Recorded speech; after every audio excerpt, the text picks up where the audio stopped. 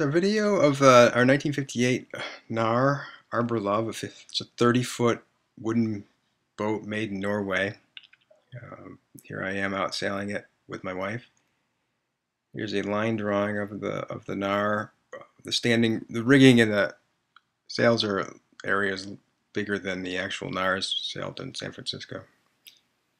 Here's the, the mainsail cover in excellent shape, made of Sunbrella. Looks brand new, practically. That's uh, this is the mainsail that I have in the picture we just saw. This is the one I sailed with. There's the battens are and the batten pockets are in good shape.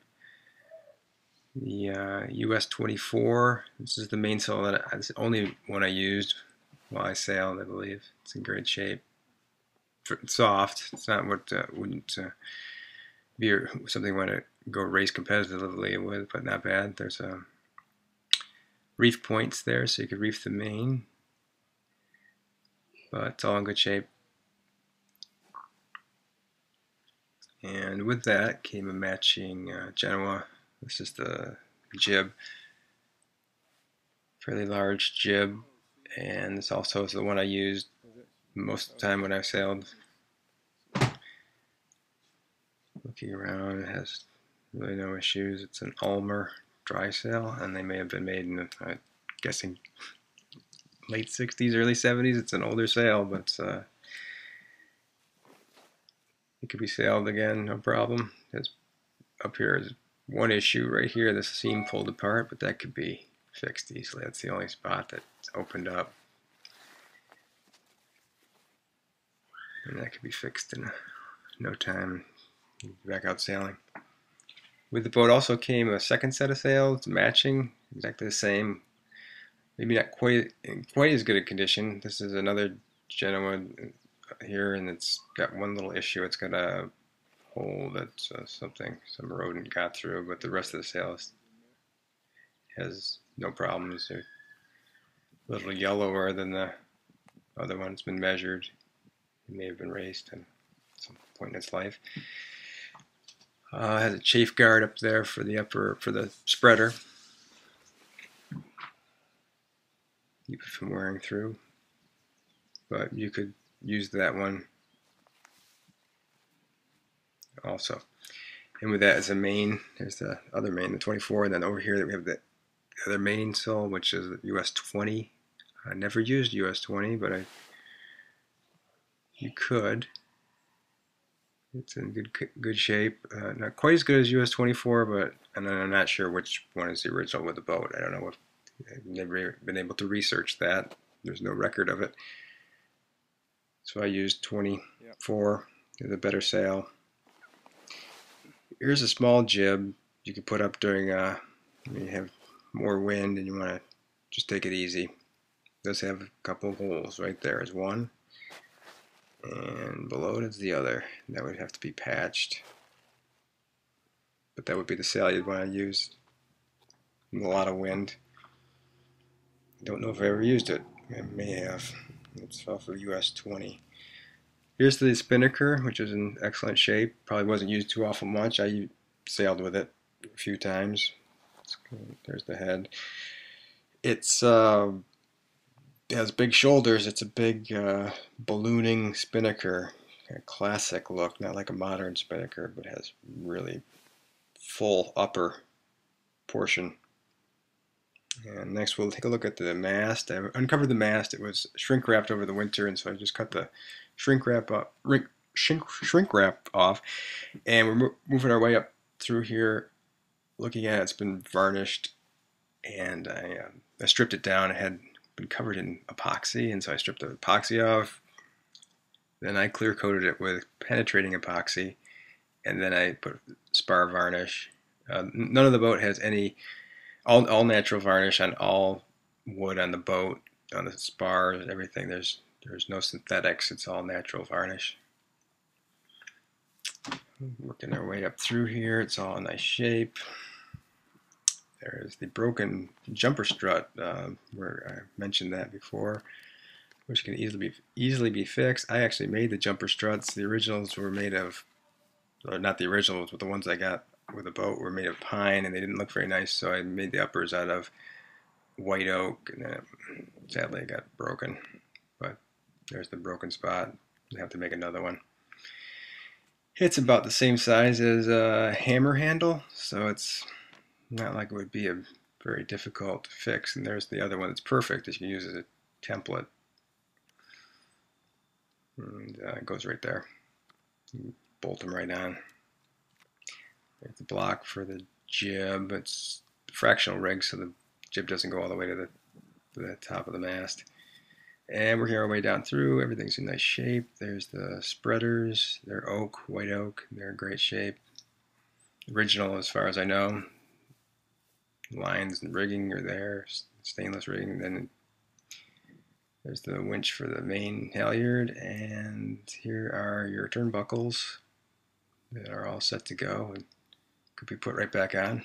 And uh, the mast goes through the cabin top. It's a keel step, so it goes right through here's the uh, an issue that concerned uh, one of uh, person emailed me and was concerned just to want to see a little bit more detail here to make sure that the hull wasn't damaged when that toe rail was hit and it looks good. There's no the toe rail if you look at uh, catch it in this picture you can see it was scraped right along the top right there on the top edge was pushed over and the, actually the hull was never touched so the hull's in great shape. It's painted so you, there's no marks on it. And uh, it takes just a little bit of work to put that back together make it nice. Probably could do it uh, in a day. Let's see. Um, found the interior cushions and exterior cushions. These are the cushions for the for the uh, cockpit, which is nice. Uh, there, that one's in good shape. Uh, this back one's the only one that has an issue. It's uh, something something got into it and ate the stuffing out of it. So you could use it as a template. It only has holes on one side, so and the zipper is in bad shape. But you could get a piece of foam cut and just use the good side up, I suppose. Uh, they're all vinyl. Here's the one for the other side. They fit in there nicely, so you can have a nice place to sit while you're having cocktails on your on your boat on your gentleman's day sailor.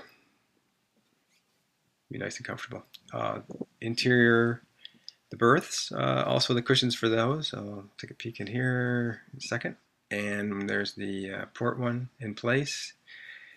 And on the other side, the starboard one's in place, and they're in, good shape. And uh, maybe straightened out a little bit. Looks like they're kind of rolled on the foam a little bit. But there's the uh, uh, V-berth cushion, goes right up in there. I slept in the V berth um, a couple nights. Oh, that one needs a zipper replaced, I think, right there. It's bad shape. I think that was the only one that had an issue. Needed a new zipper. The V berth is comfortable. I slept in there when I was in Canada. I took my wife and sister-in-law there one time. And Lisa and Jenny, if you're watching, I apologize again. Looking out the uh, portal here, we look porthole. We're looking at the uh, the toe rail where it's back broken back there and where the light shine, shining through is the upper plank here. I just want to show folks that that plank is naturally opens up a little bit. Uh, it sheds light, uh, lets light through. You can see the Carlin has been is riveted in place up there, which is the way they built those in Norway. Yeah, planks are all edge glued except for the top plank. A little bit of light shining through, but that'll close up once it's in the water. That'll be nice and tight. You could caulk it. I, it's above the water line, and you could caulk planks above the water line. I wouldn't touch anything below the water line.